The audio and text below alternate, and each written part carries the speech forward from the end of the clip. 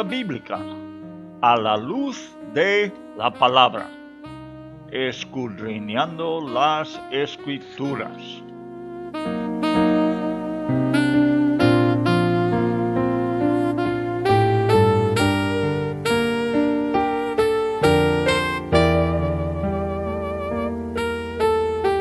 Luz a las Naciones, canal cristiano de comunicación presenta a la luz de la palabra, un estudio expositivo de la palabra de Dios, una presentación minuciosa de toda la escritura, porque es inspirada por Dios y útil para enseñar, para redarguir, para corregir, para instruir en justicia, a fin de que el hombre de Dios sea perfecto enteramente preparado para toda buena obra.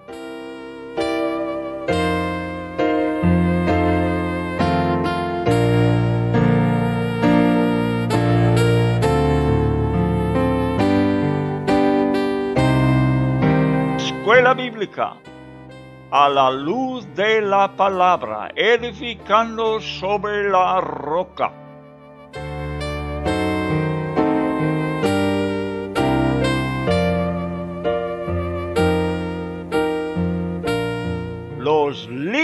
Libros históricos. El Dios de la historia.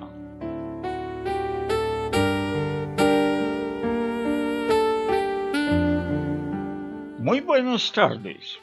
Estamos estudiando la historia de la Biblia, la historia del pueblo de Dios y cómo iba desarrollando el plan de Dios por medio de ellos.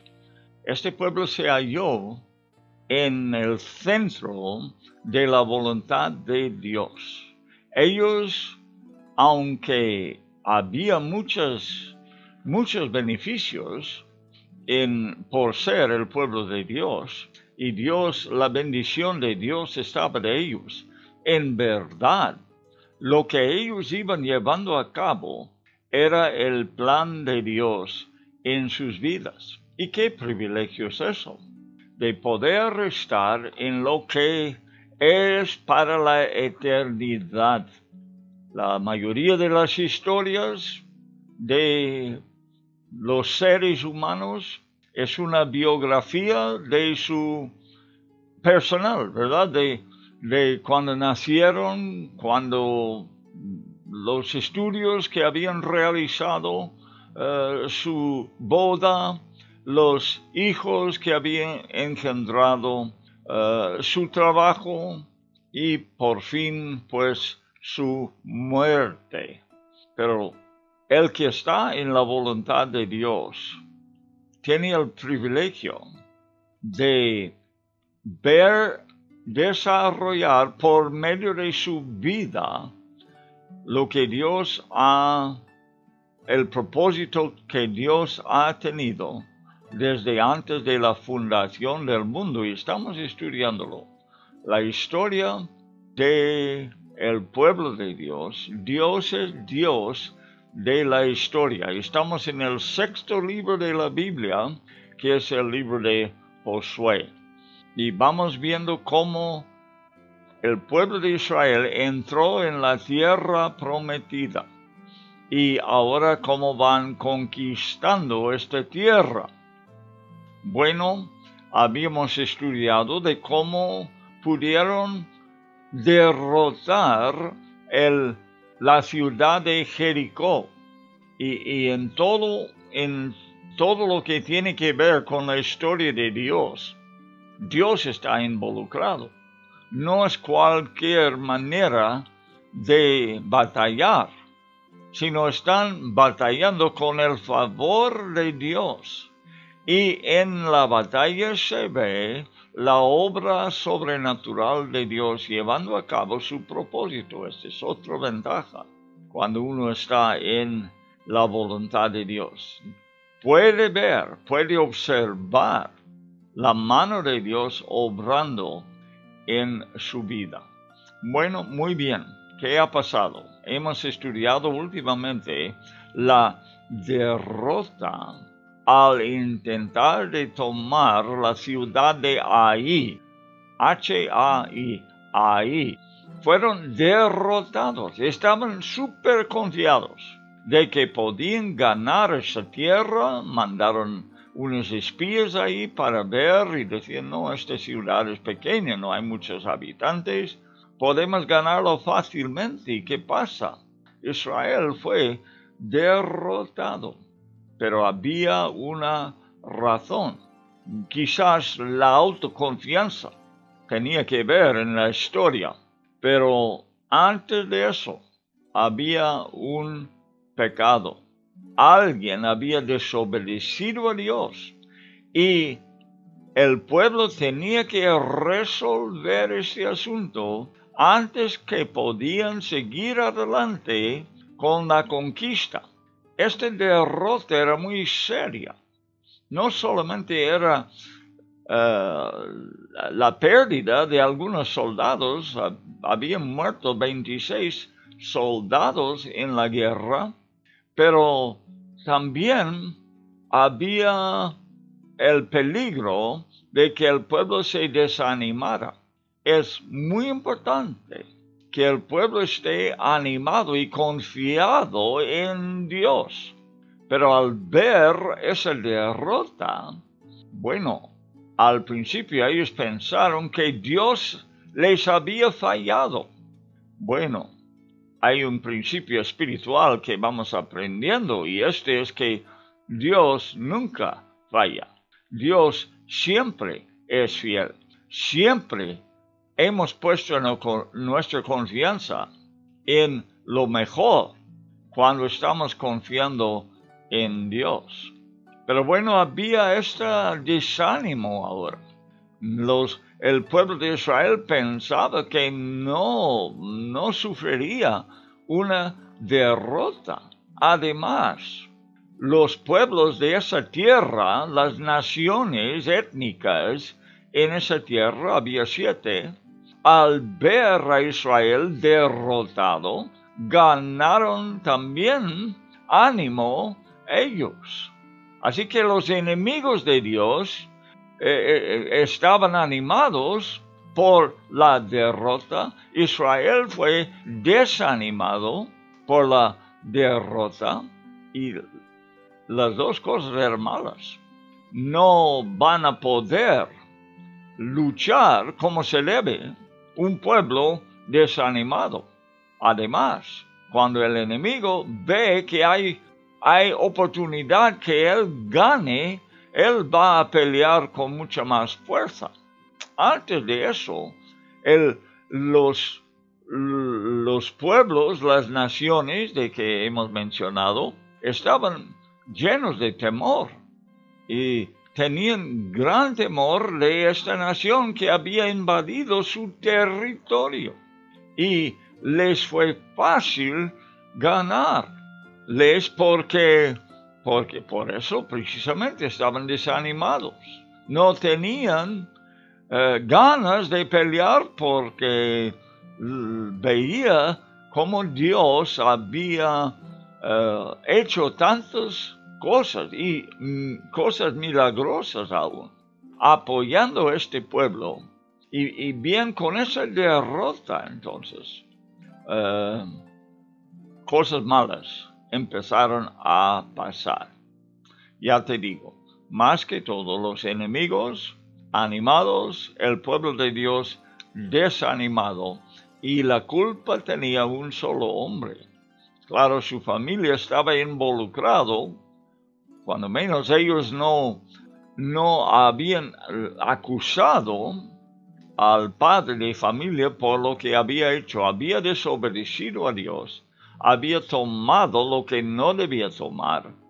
Y bien, entonces Israel fue derrotado. Esta cosa tenía que arreglarse antes que podían seguir adelante con la, el propósito de Dios. Dios no tolera el pecado.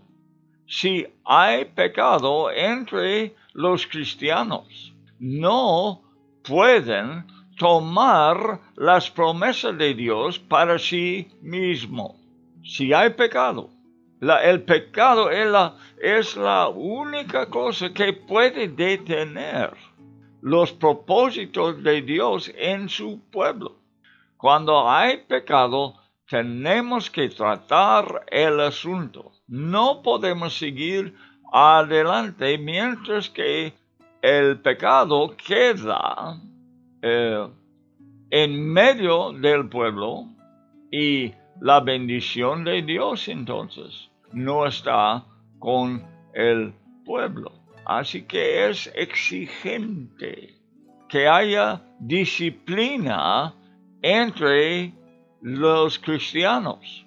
Tiene que haber castigo para el pecado. Tiene que ser arreglado el asunto antes que la obra de Dios pueda seguir adelante. No ha cambiado nada eso en el siglo XXI.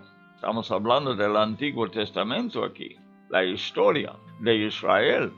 Pero pasa lo mismo en la iglesia.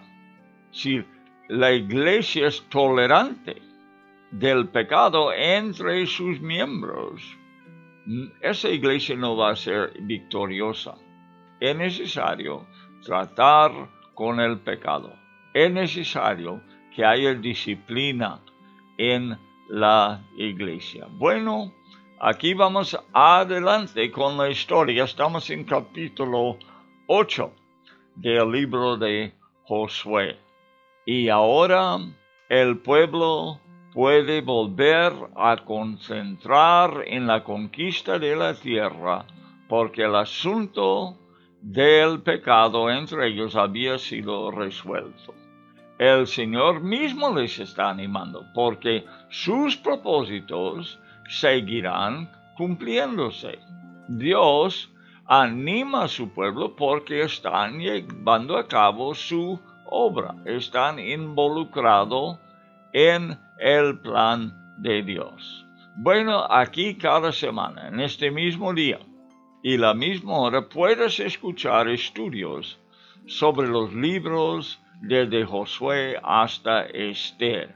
Estamos estudiando la historia, la historia de la Biblia desde la conquista de la tierra prometida, la tierra de Canaán, en adelante. Y vamos a seguir con esa historia por toda la historia de los jueces, de los reyes de Israel.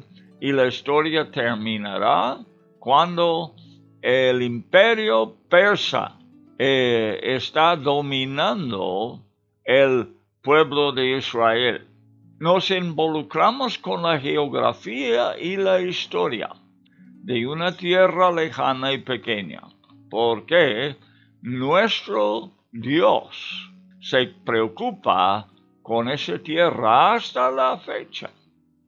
Es la tierra de Dios, elegido por Él para llevar a cabo sus propósitos eternos. Eh, seguimos viendo el desarrollo del plan de Dios. Eh, intento de explicar que ha pasado mucha historia antes del el libro de Josué, eh, pero esos, esos, esa historia está en otra categoría. Está entre los cinco primeros libros de la Biblia que se llaman los libros de Moisés. Y en otro día de la semana estamos estudiando los primeros cinco libros. Ahora empezaremos con este eh, libro de Josué, el sexto libro, y seguiremos viendo cómo la historia de Dios sigue adelante. En los primeros cinco libros aprendimos de la creación, del diluvio, de la torre de Babel, de cómo Dios llamó a Abraham, que fue el patriarca de este pueblo de que estamos hablando, del pueblo de Israel. Abraham fue el primer eh, patriarca seguido por su hijo Isaac y su nieto eh, Jacob, que su nombre después fue cambiado a Israel y tenía doce hijos. Y por eso, hasta donde estamos estudiando nosotros, ya que este pueblo tiene varios siglos de historia, los llamamos los hijos de Israel. Esta nación que ahora numera uh, con quizás dos millones de personas. Ha pasado mucha historia, pues, antes que empezamos nosotros en Josué. Hemos visto cómo Dios los libró de Egipto, eso está en el libro de Éxodo, la jornada en el desierto, el llamamiento de Josué, quien es el protagonista del libro que estamos nosotros estudiando. Bien, ya te he dicho, hoy se he dicho que hemos, eh, hemos estudiado los, eh, de la derrota al intentar retomar la ciudad de ahí, ahí. Al mismo tiempo que estamos estudiando esa historia, podemos desarrollar un concepto de Dios, porque es Dios que guía a su pueblo adelante. Por ejemplo, al hablar de la derrota por causa del pecado, que Dios quitó su mano protectora de encima de su pueblo, nos enseña algo de cómo es Dios, cómo es la naturaleza de Dios. Nos demuestra que Dios es un Dios que no tolera el pecado, no lo toleraba en su día de Josué y tampoco lo tolera hoy. Eso puede saber. Otra característica de Dios es que es inmutable, o sea, no cambia el Dios de Josué es el Dios del siglo XXI. Y la misma naturaleza que tenía en aquel entonces lo sigue teniendo hoy. Y al estar esa historia también estamos aprendiendo otra cosa. Estamos aprendiendo los caminos de Dios, cómo Dios actúa, la manera en que Dios lleva a cabo su voluntad, que es muy, muy distinto a lo que uh, una nación lo llevaría a cabo sus propósitos en el día de hoy o en toda la historia de la humanidad. El hombre tiene una manera diferente de funcionar, pero nosotros vamos, tenemos el privilegio al estudiar la Biblia, de aprender los caminos de Dios que son tan diferentes que los caminos del hombre. Son diferentes y son mucho más perfectos y buenos. Y por eso animamos al mismo tiempo al oyente, al radio oyente, rendir su vida a Él que tiene un plan más perfecto que la misma persona puede desarrollar en su propia vida hay que entregarse a Dios, a Cristo, como el Señor de tu vida.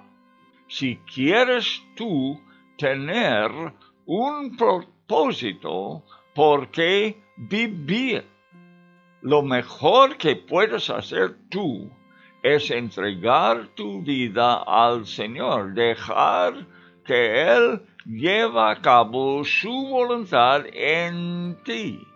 Y tú tendrás una satisfacción en vivir que sería mejor que cualquier persona pudiera tener al desarrollar su propio plan. A pesar del éxito que pueda tener una persona al llevar a cabo el plan que él tiene para su vida, prepararse, empezar a meterse en sus quehaceres y al fin de cuentas tener mucho éxito, mucho dinero, mucha propiedad, mucha fama. El camino de Dios y el propósito de Dios en nuestras vidas es mejor, es mejor que cualquier historia de alguna persona que ha tenido mucho éxito. Pudiéramos estudiar las historias de muchas personas para ver cómo tuvieron éxito y quizás intentar imitar a tal persona. Pero mucho mejor es el camino de Dios. Mis caminos, dijo Dios, no son vuestros. Dios no hace las cosas como nosotros lo haríamos. Dios tiene un camino mejor. Mejor. Por eso, la cosa más sabia que un individuo puede hacer es entregar su vida al Señor para que empiece a ver, desarrollar en él el plan de Dios, el grandioso plan de Dios. Bueno amigos, ¿qué tal? Si leemos las escrituras, ahora, hemos la vez pasada habíamos leído versículo 1 y 2 de capítulo 8, cuando el Señor estaba animando ya a Josué otra vez de tomar la ciudad de ahí. Ahora, vamos a empezar a leer en versículo 3 y veremos el plan desarrollarse de cómo van a tomar esa ciudad donde fueron derrotados la vez pasada. Y Josué se levantó, versículo 3. Ojalá que tenga la Biblia abierta, si lo puedes tener, aunque estás trabajando en, eh, en algún taller, quizás puedes tener la Biblia abierta en el taller. Si estás trabajando en la cocina, puedes tener la Biblia abierta, así de vez en cuando fijar en las palabras que estamos leyendo aquí. No sé cómo lo haces tú, pero sí te puedo decir que te vale la pena tomar tiempo para estudiar las escrituras y nosotros vamos a estar estudiándolas en los siguientes minutos. Josué se levantó con todo el pueblo de guerra, ahora va no con pocos como la vez pasada. Ya no hay esa autoconfianza, esa falsa confianza. Eh, una confianza que, por supuesto, cree que Dios les va a respaldar, no importa lo que es su condición. Ya han visto que no es así. Dios no nos respalda cuando hay pecado en el campamento. Y Josué se levantó con todo el pueblo de guerra. Ya se había acabado esa autoconfianza. Ya se había humillado el pueblo. Fue humillado por la derrota. Pero ahora van a subir ahí. Escogió Josué treinta mil hombres, valientes guerreros.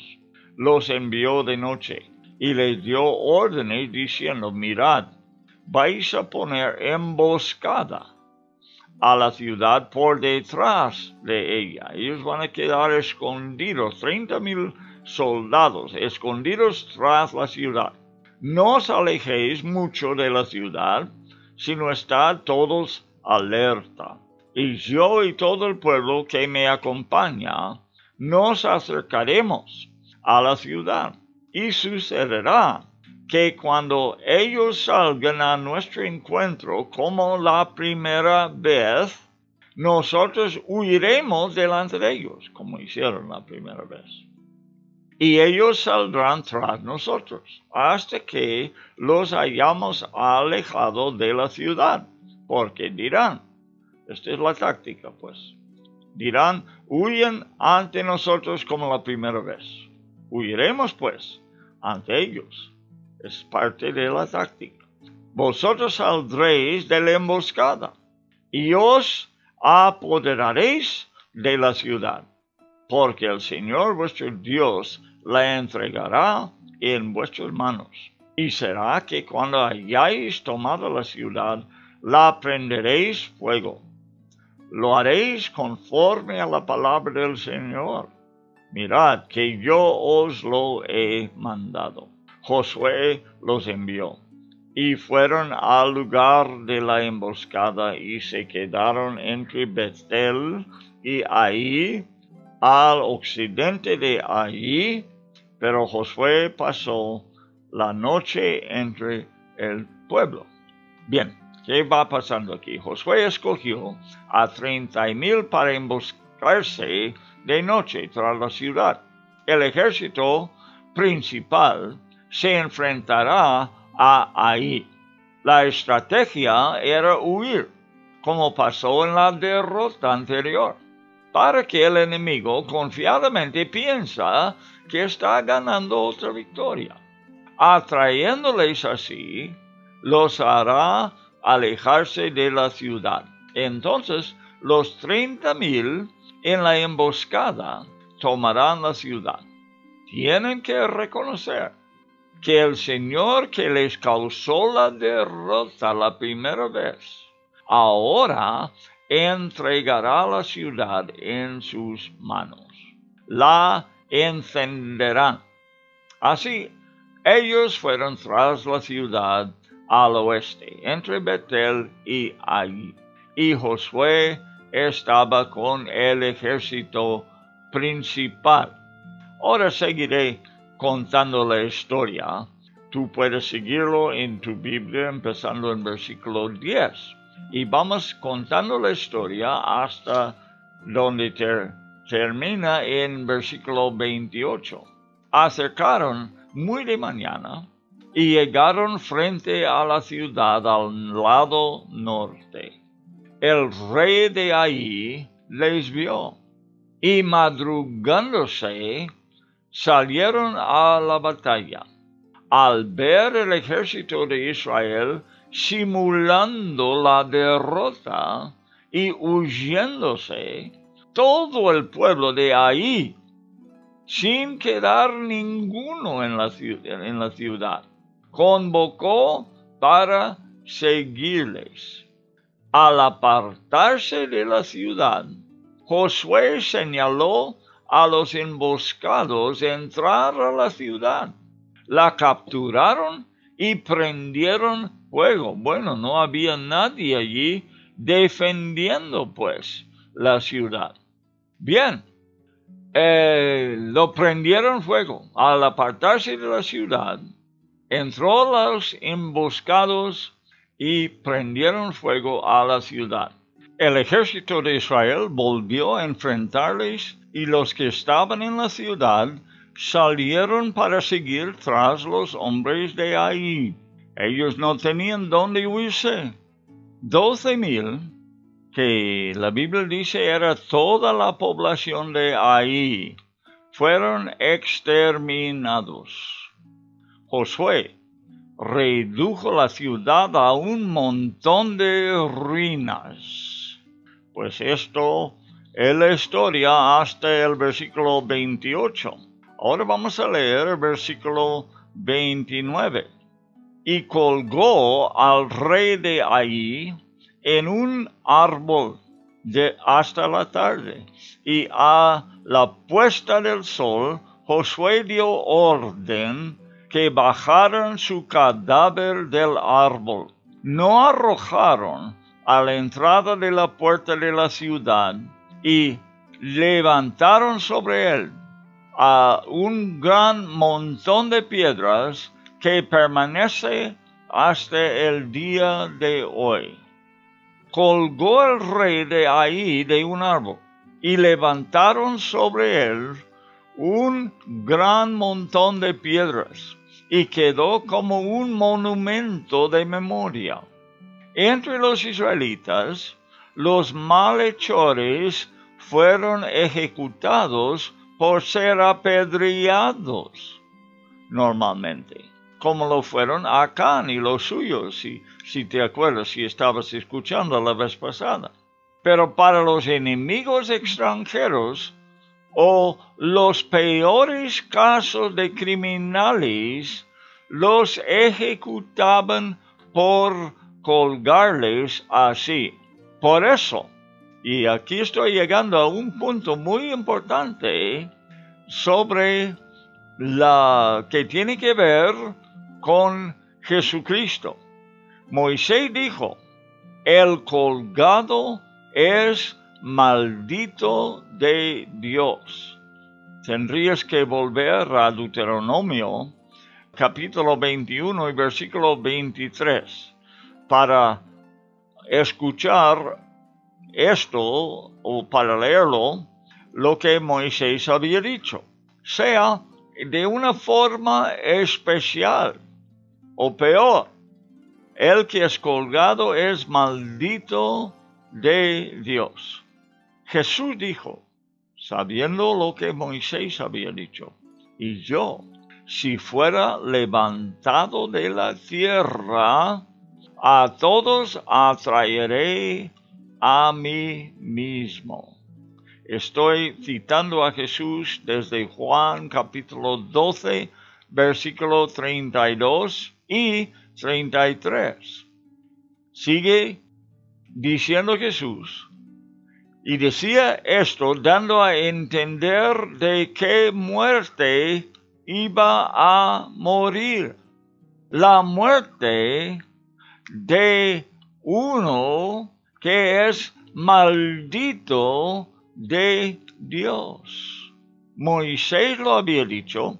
Aquí tenemos un ejemplo de el rey de ahí que de una forma especial querían eh, que el pueblo recordara de la derrota de ahí y especialmente el rey que había causado esta derrota.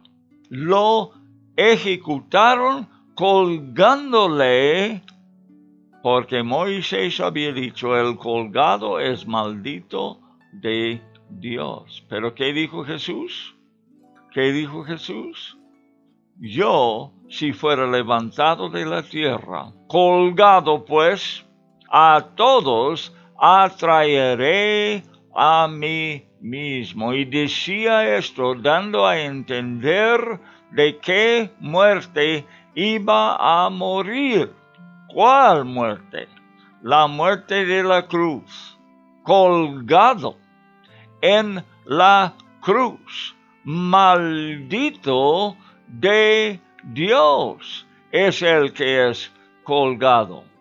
En una forma especial Jesucristo sufrió la no solamente la muerte, sino la maldición de Dios cayó sobre él. Y él dice, de esta forma iba a traer a todos a sí mismo. Es una escena repulsiva. Normalmente uno rechazaría esa escena uno se huiría de esa escena. Pero Jesús está diciendo que si Él fuera levantado en una cruz a todos, Él iba, iba a ser algo atractivo, que iba a traer a todos a sí mismo. Jesús no moriría la muerte de un judío a pedrazos, sino algo peor moriría una muerte romana, sea la muerte de un gentil, uno que no es judío. Tras este hecho, hay un secreto espiritual revelado por el apóstol Pablo. Él dijo en Gálatas capítulo 3, versículo 14, escuche bien, dijo el apóstol, para que en Cristo Jesús la bendición de Abraham alcanzase a los gentiles. Murió la muerte de un gentil. Murió la muerte de un maldito. La maldición de Dios de forma más terrible cayó sobre de él. Tenía que morir Cristo de esta manera, no a pedrazos como moriría normalmente un judío, sino la muerte de uno que no es judío, aunque él fuera, pero murió la muerte de un, una persona no judía, porque iba a llevar, o por medio de esa muerte llevaría la maldición que estaba sobre la gente no judía, colgado en la cruz, para que nosotros, los no judíos, tuviéramos la bendición de Abraham. Bueno, si tú meditas sobre esto, verás cómo Jesucristo hizo algo especial para poder ganar al mundo no judío, de formar una muerte que podría atraer a todo el mundo a él. Él fue maldito para que tú no fueses maldito, porque nosotros merecemos esta muerte. Y siendo nosotros no judíos, la maldición de Dios está sobre de nosotros. Y esta maldición es por causa de nuestro pecado. Somos malditos, somos condenados a la muerte. Pero Jesucristo tomó nuestro lugar, siendo hecho maldición por nosotros. Llevó nuestra pena, la pena de muerte, de la maldición, de la culpabilidad nuestro, lo llevó Jesús, si tú puedes imaginarlo. Pero hay que hacer más que imaginarlo, hay que creerlo, porque esta es nuestra salvación. Cristo fue levantado en una cruz para salvar a todo el mundo. Murió la muerte de los ejecutados por los romanos, para que nosotros, que no somos judíos, pudiéramos, yéndonos a esa cruz, viendo que Él llevó nuestra maldición, y así, bajo la cruz, nosotros, Él tomando nuestros pecados, nuestra culpabilidad, nuestra maldición, podemos nosotros quedar totalmente libres, porque Él era el sustituto que murió en nuestro lugar. ¿Lo puedes captar? Ojalá que lo captes, porque esta es tu salvación y la mía, porque por medio de este hombre colgado bajo la maldición de Dios, la ira de Dios derramado sobre nuestro pecado, podemos nosotros y solamente por creerlo por confiar en eso lo que hizo Jesús por nosotros, nosotros somos justificados, hechos justos delante de Dios, como si jamás hubiéramos pecado, porque Cristo llevó nuestro pecado. Tras este hecho, hay un secreto espiritual. En Cristo Jesús, la bendición de Abraham alcance a los gentiles, no solamente los hijos naturales de Abraham, sino nosotros. Él llevó la maldición de los gentiles colgado en la cruz para que nosotros tuviéramos la bendición de Abraham. Seguimos adelante, versículo 30 hasta 35, capítulo 8 todavía. Versículo 30 hasta 35. Entonces edificó Josué un altar al Señor, Dios de Israel, en el monte Ebal. Aquí vamos a ver más historia que tiene mucho significado para nosotros. Tal como Moisés siervo del Señor, había ordenado a los hijos de Israel, como está escrito en el libro de la ley de Moisés, un altar de piedra sin labrar, sobre las cuales nadie habrá alzado herramienta de hierro, y sobre él ofrecieron holocaustos al Señor y sacrificaron ofrendas de paz. Y escribió allí sobre las piedras una copia de la ley que Moisés había escrito en presencia de los hijos de Israel. Todo Israel, con sus ancianos, oficiales y jueces, estaba de pie a ambos lados del arca delante de los sacerdotes levitas que llevaban el arca del pacto del Señor, tanto el forastero como el nativo. La mitad de ellos estaba frente al monte Gerizim, recuerda ese nombre, y la otra mitad frente al monte Ebal, tal como Moisés, siervo de Dios, había ordenado la primera vez para que bendijeran al pueblo de Israel. Entonces Josué leyó todas las palabras de la ley, la bendición y la maldición, conforme a todo lo que está escrito en el libro de la ley no hubo ni una palabra de todo lo que había ordenado Moisés que Josué no leyera delante de toda la asamblea de Israel, incluyendo las mujeres, los niños y los forasteros que vivían entre ellos. Treinta kilómetros de ahí, en el monte Ebal, Josué edificó un altar al Señor el altar tiene que estar donde ocurre la maldición. ¿Dónde? En el monte Ebal. Fue nombrado el monte de maldición. Dios pronunció maldición y bendición sobre Israel. Y la maldición fue presentado en el monte Ebal. Moisés lo había mandado el hecho que ya iba a ocurrir. Lo puedes leer en Deuteronomio 11, 29 y 30 si quieres.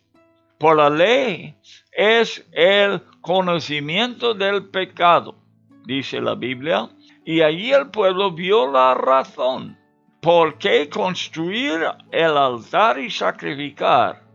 Lo oyeron hombres, mujeres, niños y extranjeros. Según la ley, el altar tenía que ser de piedra sin labrar con herramienta. Aquí tenemos otro principio espiritual. El altar del Señor no puede ser labrado sintéticamente. El hombre no podría meter la mano, sino que el altar tenía que ser natural, como Dios lo había creado. Las piedras, quiero decir. Éxodo 20 y 25, puedes ley. La adoración al Señor se conduce sin el adorno del hombre. Bajo este monte estaba la ciudad de Sicar. Se llamaba Siquem en aquellos días, en el día de Josué. Pero Jesús se sentó en el pozo bajo el monte Jerezim, el monte de bendición. Sobre este monte Dios pronunció bendición. Jerezim. Ebal recibió la maldición. Jerezim la bendición.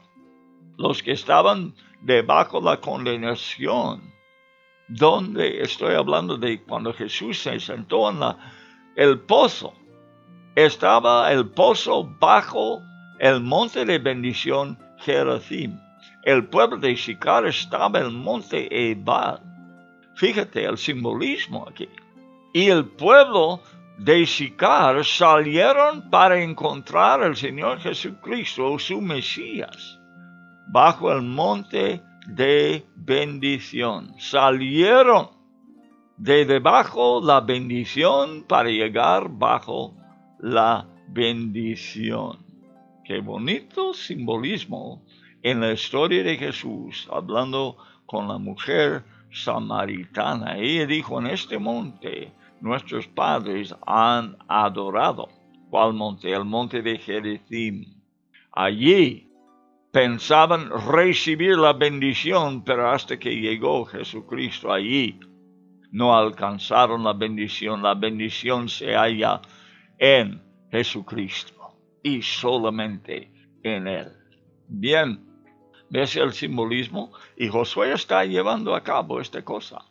La mitad del pueblo está bajo Ebal, la otra mitad está debajo de Jerezim. Y Dios pronuncia bendición. Si ellos siguen a Él fielmente, si Él es su Dios, si ellos le teman y le obedecen, la bendición de Jerezim será sobre ellos. Por otra parte, si hacen mal, si desobedecen, si olvidan de su Dios, la maldición del monte Ebal caería sobre ellos. Así que pronunció Dios bendición y maldición. Y nosotros todos hemos nacido bajo el monte Ebal y tenemos que llegar a Cristo para recibir la bendición de Dios. Y aquí hemos estado hablando de cómo poder recibir la bendición de Abraham. Por irnos a donde fue colgado Jesucristo, hecho maldición por nosotros que no tenía ninguna culpa, sino que llevó nuestra condenación, nuestra culpa. Él que fue puro, un cordero sin mancha ni arruga, no murió por sus propios pecados, sino que nuestros pecados fueron echados sobre él. Y fue maldito de Dios colgado en una cruz, llevando nuestros pecados, hecho pecado por nosotros, para que nosotros fuésemos perdonados. Esta es la historia de la salvación. Ojalá que lo pudieras captar. Pero lo está ilustrando Josué aquí en nuestra historia. La Biblia del Antiguo Testamento lo debemos estudiar porque son sombras de lo porvenir. Podemos entender el Evangelio mucho mejor leyendo el Antiguo Testamento y por eso estamos en ello, amigo mío. Estamos estudiando la historia. Estamos estudiando la historia de Josué y cómo guió a su pueblo para alcanzar la conquista de la tierra prometido y cada paso tiene un significado. Hizo un altar ahí en Ebal. Allí tenía que sacrificar porque ésta representaba la maldición. Y Cristo fue el verdadero sacrificio, de lo cual el altar de Josué solamente fue una sombra. Él fue hecho maldición colgado en una cruz, salvando nosotros, porque tomó nuestro lugar. Todos somos culpables delante de Dios, pero en Cristo Jesús recibimos la bendición.